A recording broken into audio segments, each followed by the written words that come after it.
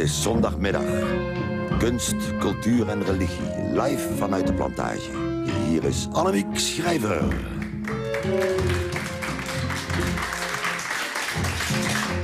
Welkom bij Icon Live. Misschien wist u het niet, maar vandaag is het Nationale Stiltedag. Net nu wij u kennis willen laten maken met het eerste popidool uit de muziekgeschiedenis. Maar onthoud goed, goede muziek is omlijsting van stilte. Ik heb het over de Hongaarse componist Frans Liszt.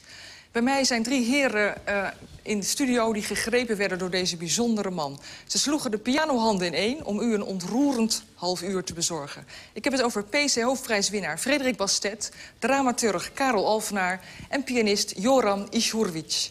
En uh, zelden wordt Liszt's pelgrimsreis, zijn spirituele zoektocht op muzieknoten, in zijn geheel uitgevoerd. Want het is bijna te moeilijk. Maar daar denkt Joram heel anders over.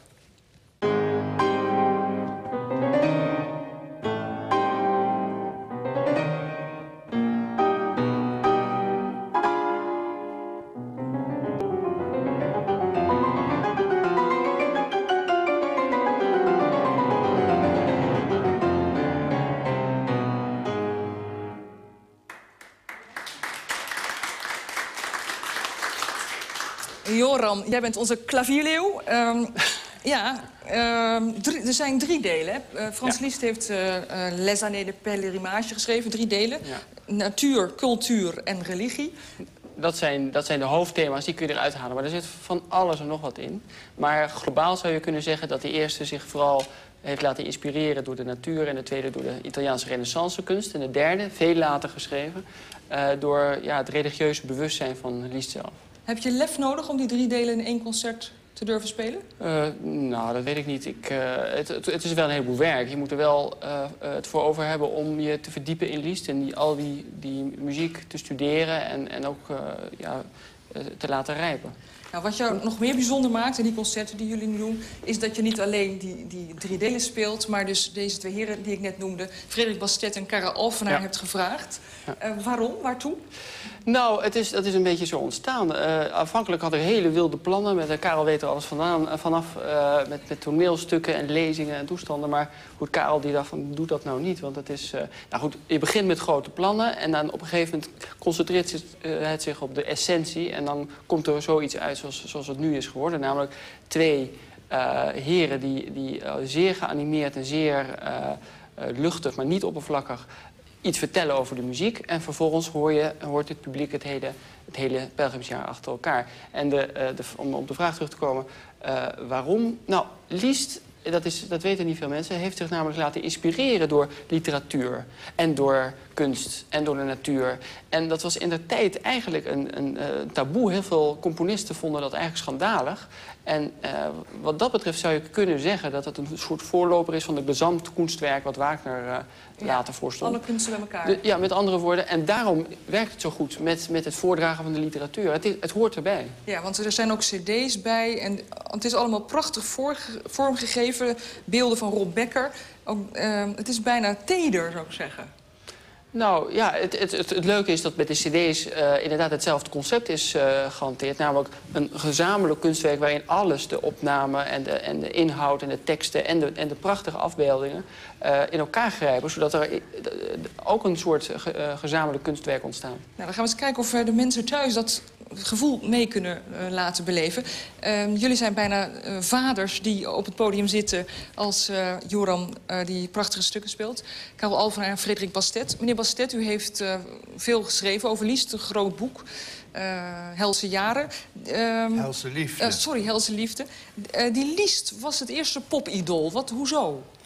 Nou, Popido, we vergelijken het daar mee omdat hij zo beroemd was... dat hij ging over de hele toenmalige wereld reizen... met uh, ja, pianorecitals en uh, eigen stukken, maar ook andere muziek. En hij heeft heel veel toen ook nieuwe muziek geschreven... om de techniek van de piano, alles wat er op de piano van die tijd, dat was meestal de Eraar en de Pleyel-vleugel ook wel, uh, wat je daarmee kon doen. En hij heeft dus eigenlijk Paganini als voorbeeld gehad, die dat op de viool al eerder heeft gedaan. En die bewonderde hij buitengewoon.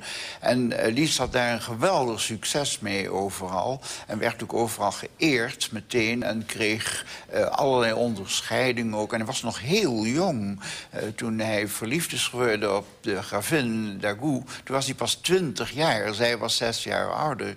En uh, ja, dat heeft tot een verbeelding gesproken. Dat ging heel ver. Dames vooral, die... Uh, ontzagen zich niet om bijvoorbeeld als hij een restje thee in zijn kopje had laten zitten... dat stiekem in een flesje te doen en dat dan mee naar huis te nemen. Als reliquie? Ja, en ja. er is ook een mevrouw geweest... die heeft de stoelzitting waar hij op zat uitgesneden... en die in goud laten inlijsten. Zulke soort dingen. Ja, dat is fetischisme. Ongelooflijk. En dat is een beetje wat we tegenwoordig met die voetbalhemden ook ja. zien... en dat soort dingen. En meneer Alphen, ja. hoe bent u uh, of met Liest in aanraking gekomen? Nou, mijn eerste grote liestbad, dat was in de Vleeshal in Haarlem... waar ik met Ischa Meijer, dat was een jongen met wie ik altijd naar voorstellingen en concerten ging... Uh, ging kijken. En toen speelde Sas Bunge, een Haarlemse pianist. Heel virtuoos en heel mooi, een hele avond liest. En na afloop zei Ischa Meijer, de mens ist was er liest. Ja, en toen was je om. En toen was ik om, ja. ja. Um, maar wat Lies dus gedaan heeft, zijn, uh, is een pelgrimsreis beschrijven. En, uh, want heel veel mensen kennen hem alleen maar als klavierleeuw. Maar hij zei zelf, uh, ik ben misschien een zigeuner, maar ook een Franciscaner. Hij had ook een religieuze inslag. Mm -hmm. um, er zijn dus drie delen, zei ik. Door de natuur geïnspireerd, de cultuur geïnspireerd en de religie. Waar zit uw fascinatie? Wat vindt u een mooi stuk? Nou, ik vind ze allemaal even mooi. Maar in de eerste cyclus zit een stuk, dat is het Lak de Wallenstad. En dat heeft een grote voorliefde van mij. Mede om de associaties die eraan vastzitten. Onder andere zijn vriendin de gravin Dagou, waarvan hij ook zijn eerste kind heeft gekregen. Die uh, zei ook steeds, het is zo'n prachtig stuk. Ik kon er nooit naar luisteren zonder te wenen. Nou weenden ze veel hoor, maar dat was toch... Het stuk is inderdaad heel elegisch, vriendelijk. Het is niet de klavierleeuw die je hoort. Het is een hele uh, nadenkelijke, ingetogen uh, liest eigenlijk. En wat voor tekst uh, hoort daarbij, meneer Alvanel? Deze tekst van Senancour. Wat wil ik? Wat ben ik? Wat de vragen van de natuur? Iedere oorzaak is onzichtbaar, ieder doel bedrieglijk. Elke vorm verandert, alle duurzaamheid raakt uitgeput. Ik voel, ik besta om verteerd te worden door onbedwingbare verlangens. Om een dorst te lessen met de verleidingen van een grillige wereld. Om door zijn wellustige dwalingen vernietigd achter te blijven.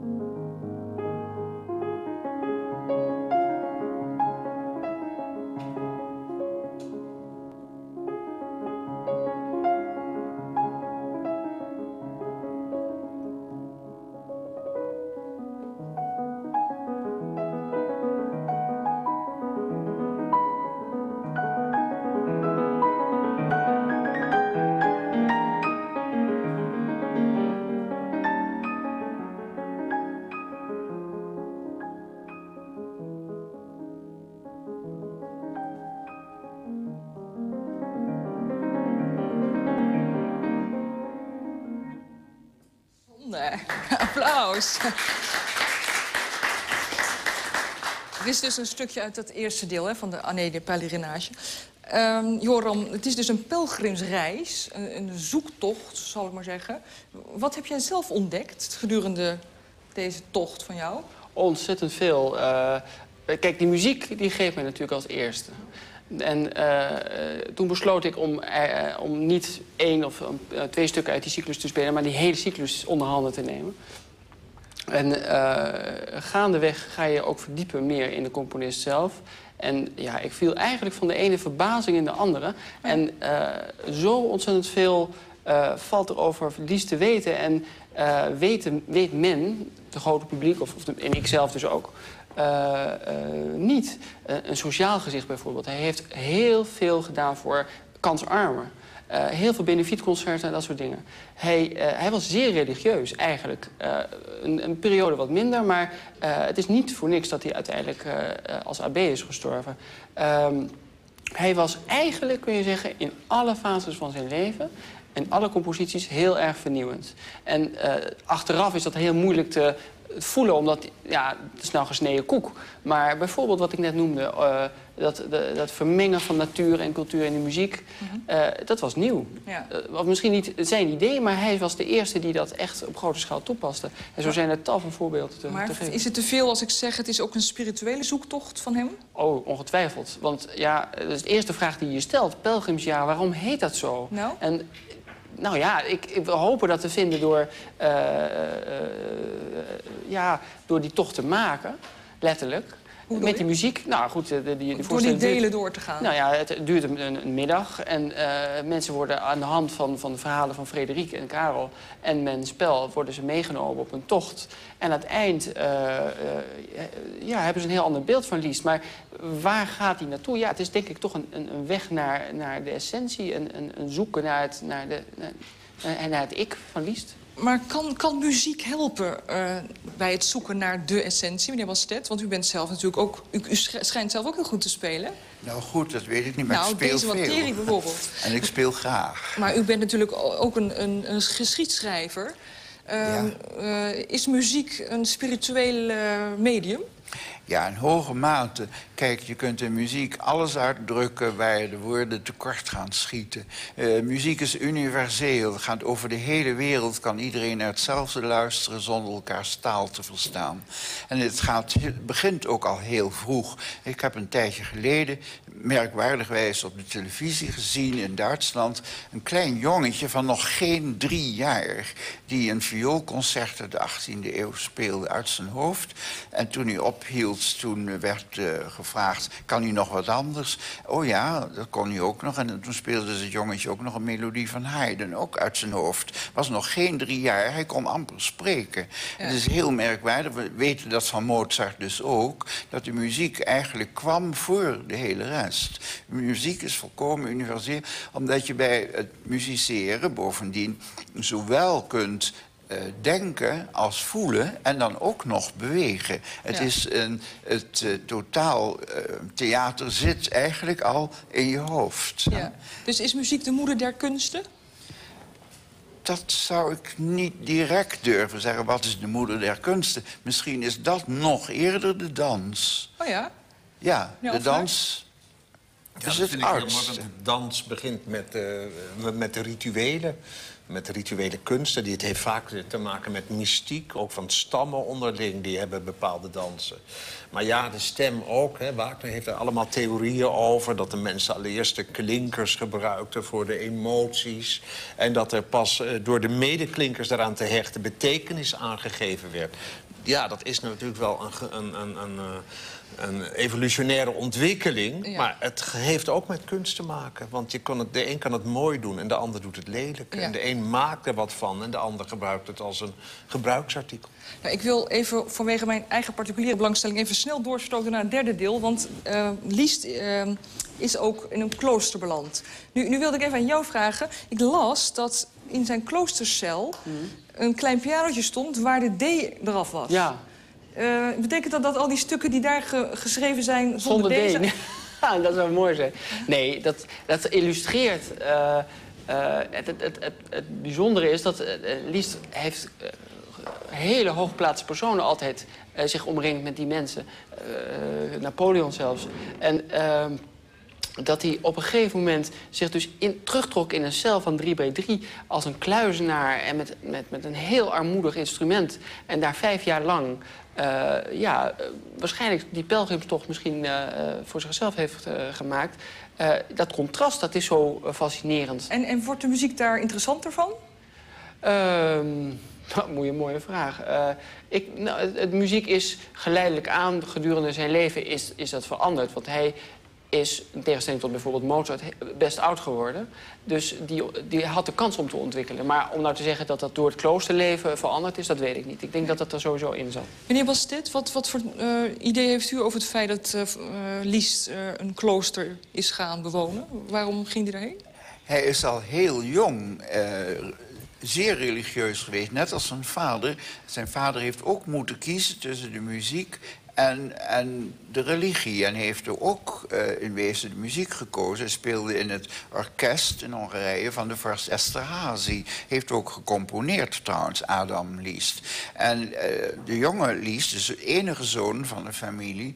die heeft zeker dat ook als voorbeeld gezien... en is zeer religieus opgevoed. Maar was het uit wanhoop dat hij aan het eind van zijn leven voor het klooster koos... of juist uit inspiratie? Nee, hij heeft het uh, toen hij nog een jaar of 16 was en zijn vader overleed toen heeft hij dat eigenlijk al gewild. Dat heeft, zegt hij bij herhaling zelf. Maar hij is toen door de omstandigheden in een andere richting... de muzikale richting gedreven eigenlijk. Moest brood op de plank ja, En uiteindelijk kon hij zich dat permitteren. Maar toen in uh, zijn tweede uh, huwelijk... ja, hij, heeft, hij, is nooit getrouwd geweest... maar dat, de eerste partnerschap, laat ik dat dan zeggen, met de gravin... dat is tot een einde gekomen. En toen heeft hij daarna, 1847, een relatie ontwikkeld... met Caroline van zijn Wittgenstein. Mm En is bijna een huwelijk geworden. En dat is nog door de kerk verhinderd. Omdat Caroline had een dochter en was al katholiek getrouwd.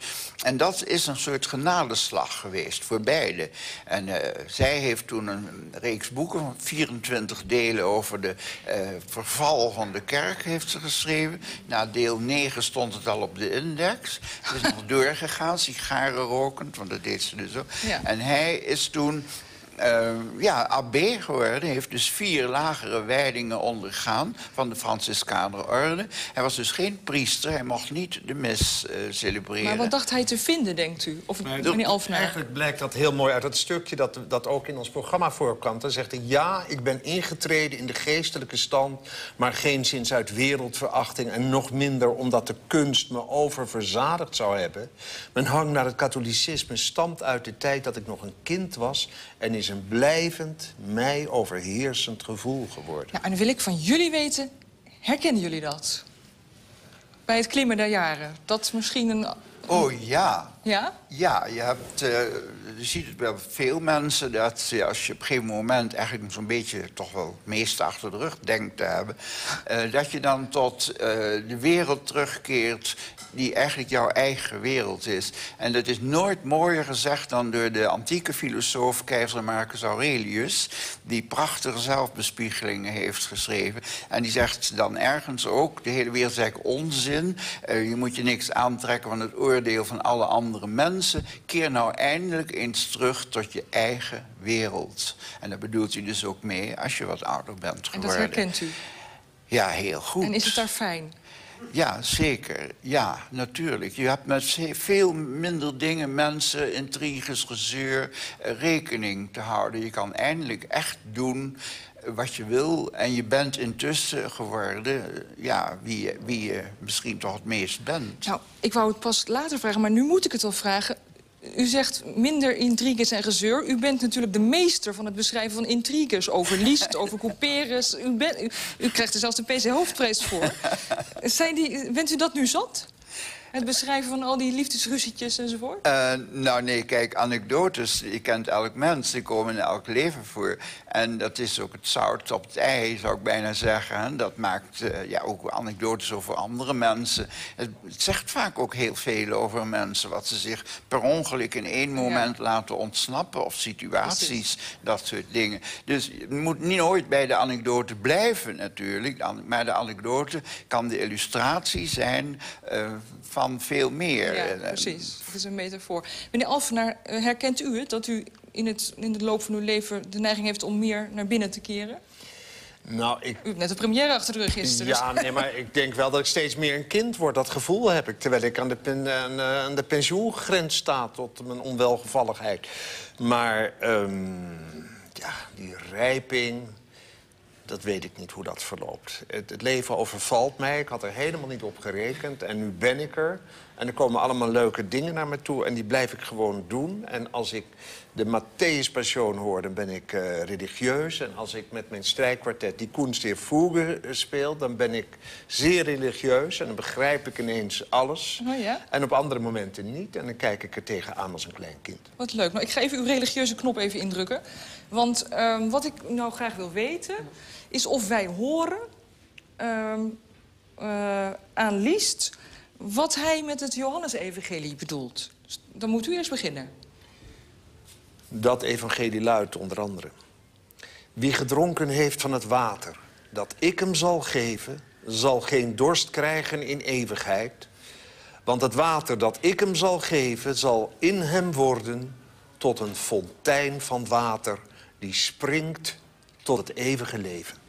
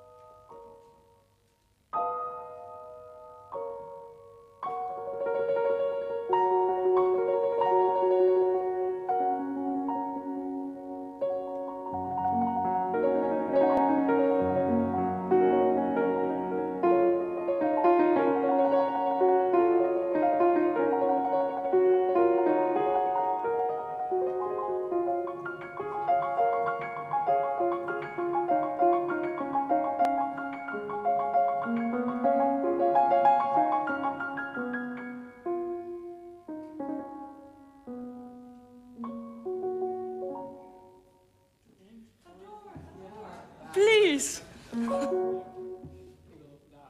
Je, je vraag over die, eh, die religie, denk ja, eh, dit is natuurlijk van het derde jaar eigenlijk het meest uitzonderlijke. Want dat is dan weer, denk je van, ja, dat is weer die oude Lies die eh, een mooie, mooie nootjes tovert. Dat is een vergissing, want ik vind het veel meer vooruitwijzen naar Ravel. Bijvoorbeeld dan...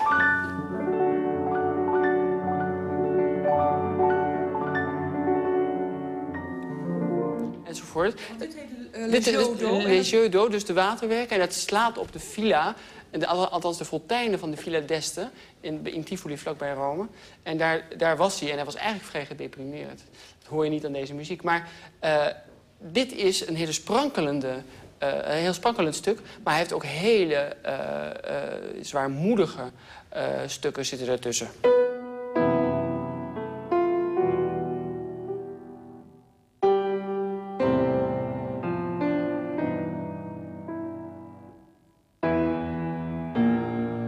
Weer.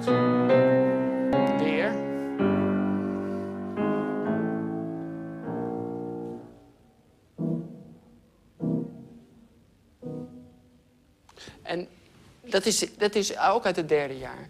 En, eh, maar, eh er, zit, zit van alles in. Maar dit, dit, dit speel ik even om aan te geven dat het derde jaar echt compleet anders is dan die andere jaren. Maar wat ik zo mooi vind, is dat hij toch positief eindigt. Want eh, het laatste stuk heet Sursum Corda, dat komt uit de katholieke mis. Hart omhoog. Exact. En het eerste, dat voel je ook. Mijn, mijn vrouw, die, eh, die, die voor het eerst bij, toen ik het voor het eerst speelde... die schreef erbij, alle mensen weer een broeder. En dat is precies, dat is, komt natuurlijk uit de negende van Beethoven. Dat is precies het gevoel wat ik had. Want dan denk je, ja, je wordt echt opgetild. erbij.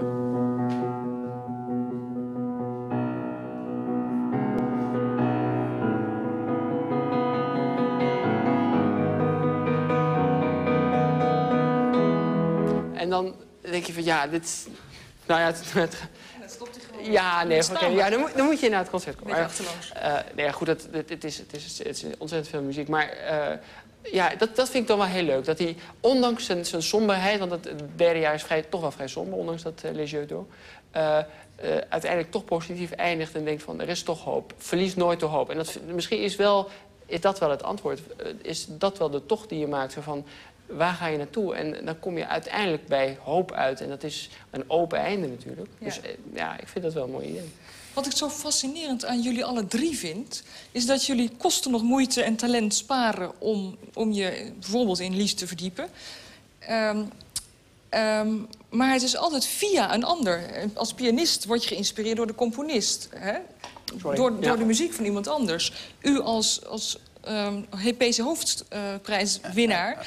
met eh, u heeft net geschreven De Grote Wandeling. Waar gaat het over? Dat gaat, eh, ja, veel anekdotes weer. Ook maar uit mijn hele leven, hele saillante verhalen. Onder andere over Meline Mercuri, eh, prinses Juliana... die ik eh, vaak ontmoet heb. Waar hele merkwaardige verhalen ook over in Oh, leuk. En eh, niet alleen zij, en ook, maar ook muzici. Ik heb dus eh, ja, Hans Henkemans bijvoorbeeld goed gekend. Ja. Bruins heb ik erg goed gekend zelfs. Ellie Ameling ken ik nog altijd goed, want die anderen zijn allemaal overleden. Maar nu, nu komt mijn punt, want meneer Alphenaar... u hebt net gisteren een, een, een pre- première gehad van Don Giovanni. U bent dramaturg. Jullie laten zich dus allemaal inspireren door andermans inspiratie. Of zie ik dat verkeerd? Alphenaar. Nou ja, bij eh, Don Giovanni, dat, dat is een opera. Daar hebben wij een ballet van gemaakt. En daar ben ik, eh, heb ik geholpen om de inspiratie van de choreograaf... dat is Christophe Pastor, Maar wat eh, drijft te u? onderbouwen. Wat- Nou ja, de schoonheid van, eh, van de dans en al die figuren. En het op een andere manier dat Don Giovanni-verhaal Maar te is- vertellen. is- met de... Sorry dat ik je onderbreek, maar is kunst niet altijd een inspiratie van de inspiratie en een wisselwerking eh, op elkaar? Ik denk dat dat, dat, dat eigenlijk standaard is. Want als je Lies nu op die cel ziet zitten, wat, hoe stel je dat dan voor? Wat, Die- als je Lies nou in die cel ziet zitten, haakt hij dan in op andermans inspiratie? Of hoe bedoel je? Nee, ik denk die cel, die cel die, die, eh, dat dat voor hem een soort breekpunt is geweest in zijn leven. Hij had het nogal wat achter de rug. Want zijn, eh, twee van zijn drie kinderen eh, waren vrij kort op elkaar overleden, op dramatische wijze. Of tenminste, dat is voor elke vader, ik ben zelf ook vader, denk ik vrij dramatisch. En eh, hij heeft heel lang geprobeerd in Weimar een, een, eh, iets op te bouwen, namelijk een, een nieuwe Duitse school, waarin die kunsten, waar we het dus net over hebben, elkaar inspireren. eh, van de grond te krijgen. Dat is ook niet echt gelukt. Dus hij was, het was voor hem een moment van bezinning, denk ik. Maar het is niet echt gelukt. Ehm, hoe mooi dit allemaal ook is. het is niet zo dat hier gillende mensen naartoe zijn gekomen. Wij hebben moeten zeggen, jullie kunnen er niet meer in. Met andere woorden... ehm, Deze muziek. Nou ja, überhaupt de klassieke kunsten... die worden niet ruim beapplaudisseerd. Hoe komt dat? Eh, Die vraag, eh, wat bedoel je precies? Nou ja, eh, noem eens een stadion, ik ben het even kwijt. Een groot stadion. Oké, ja, maar goed, dat is, dat is denk ik een eeuwige discussie van de kwantiteit en de kwaliteit. Ik denk dat een componist of een kunstenaar in het algemeen zich daar niet mee bezighoudt of moet houden. Of zijn, wat hij doet, of dat nou een groot publiek of een klein publiek Is raakt. applaus belangrijk voor jou? Eh, voor de, mm, het is, het als mens is het leuk. En natuurlijk, eh, het streelt je ijdelheid. Maar uiteindelijk doet het er niks toe. Meneer Bastet, u hebt groot applaus doordat u de PC Hoofdprijs gaat winnen op 20 mei. Ehm, is het belangrijk, die erkenning? Ehm, misschien, je hebt het niet strikt nodig. Eh, Het kan sommige mensen, het, het kan, kan het krijgen van een grote prijs of erkenning... helemaal in de war brengen zelfs. Oh ja. Die raken van slag en die brengen verder niks meer op. Dat komt ook voor. Je moet natuurlijk gewoon doorgaan. Maar ja, ik ben tenslotte 78, dus heel veel moeten de mensen van mij niet meer verwachten. Maar het is ook al heel- vrij veel geweest, onder ons gezegd. Dus het is een mooie afsluiting. Ja, het is een- bij mij een soort Everprijs geworden. Wat het in principe niet hoeft te zijn, de PC Hoofdprijs. Maar bij mij is dat duidelijk wel het geval, ja. Maar ik heb dus niet alleen... Ik krijg hem voor essay en voor biografie... maar ik heb heel veel meer gedaan. Dus wist dat ik voor het Museum van Oudheden... al die grote catalogussen, schrijven van telefoonboeken bij wijze van En hebben jullie nou hetzelfde lintje op de revers? Ja. Nee, uh, Bastet heeft een hoger, die heeft een dubbel lintje. En wat, wat is die dat heeft dan? ook een leeuw gevangen. Zo, en wat is en dit? ik ben alleen maar een officier van Oranje Nassau. Oh, maar... Nou, dat is ook gestold mooi. applaus. Vindt u het belangrijk? Ja. Eh, slotapplaus? Een gestold applaus. Een gestold applaus. Ja, anders had ik het niet Nee, eh, precies. eh, opgespeld. Was u doorgegaan als kunstenaar als er geen zalen vol waren geweest?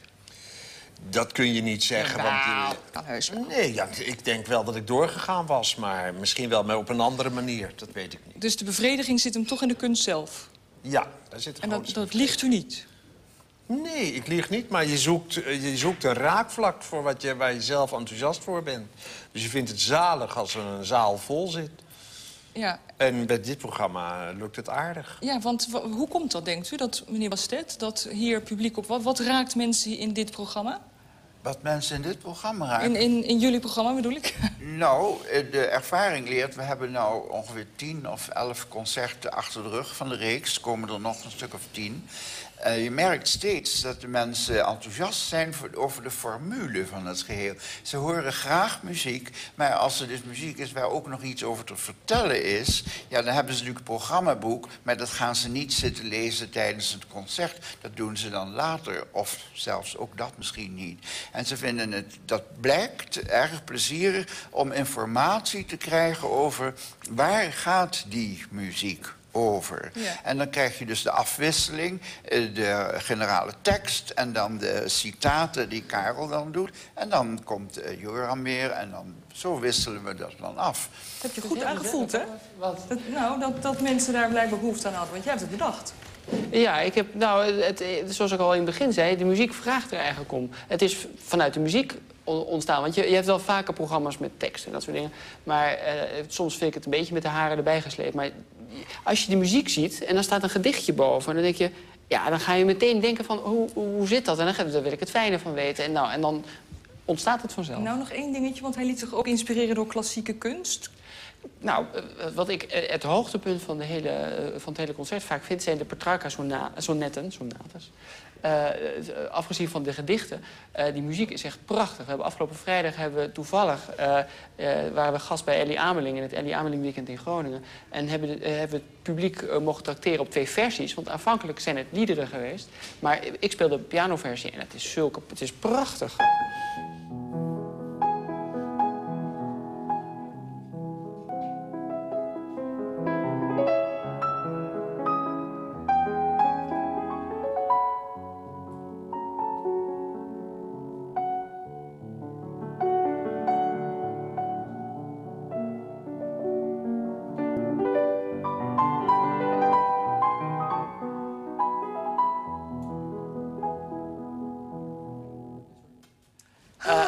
Maar dat, dat wordt voorafgegaan door een, een, eh, de, eh, het, het, het sonnet waar het, waar het over gaat. Dit, in dit geval is dat eh Pace non trovo, ja. En Fre- Frederik heeft, heeft ze alle drie vertaald, de drie sonnetten. En, Frede- en Karel die draagt, draagt ze voor. En ik vind dat, ik vind dat echt... ja, het is een heel mooi moment in, in, die, in dat concert. Wat zijn jullie een gelukkige combinatie? En een gelukkig bij, bijeengeraapt door Joram. Ja, Vinden jullie het zo, genieten jullie er zelf ook van? Ja, elke keer weer. Want ook elke zaal is natuurlijk anders. Elk publiek is anders. Dat weet elke optredende kunstenaar. Maar ik ervaar dat eigenlijk zo'n beetje voor het eerst. Hoewel ik heb vroeger ook veel lezingen over archeologie. Want ik ben eigenlijk dus archeoloog. En eh, gegeven. En, dan merk je dat dus ook al. Maar de respons is over het algemeen erg positief. En dan, eh, vooral in Utrecht, ook in Vredenburg. Buitengewoon eh, mooie en ook leuke avond geweest. Ja. We zijn ja, iedere ja. keer weer benieuwd naar wat eh Joram eruit haalt. Want Oh, dat is altijd anders dat is natuurlijk. al, nou, er zitten altijd van die... Dan gaat dit stuk weer briljant en een ander stuk moet hij inhalen. En er zit, er zit altijd spanning. Het is geen automaat en dat is, dat is voor ons... eh, We, Ja. eh, we zien er nooit tegenop Nee. om de volle map van de vijf uur... ook eh, wat de muziek betreft... eh, ondergaan. uit te luisteren, om een lelijk woord te gebruiken. Ik wens jullie nog heel veel plezier en heel erg bedankt dat jullie er waren. Joram Ishurwitz, Frederik Bastet en Karel Alvenaar.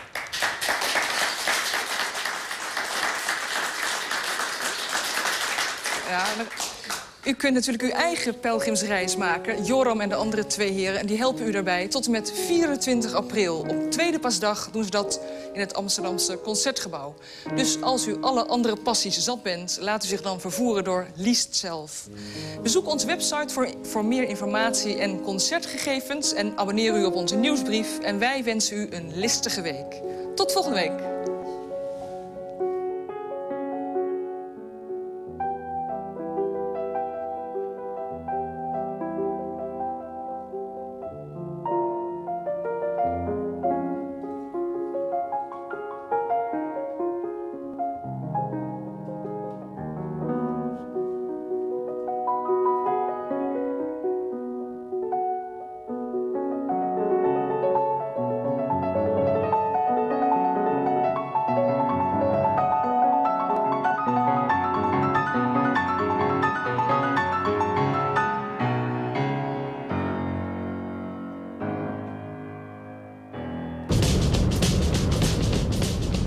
Maand geleden reed Louise Donk uit Uden rond middernacht op deze snelweg. Ze werd gedood door een stoeptegel die van het viaduct werd gegooid. Ze is in het ziekenhuis overleden of is ze hier ter plekke al Ze overleden? in het ziekenhuis overleden. Straks om 1 uur. Waarom? Waarom doet zo iemand iets? hè? Schokkende verhalen over zinloos geweld in Nederland. Vanavond dit net in Kruispunt.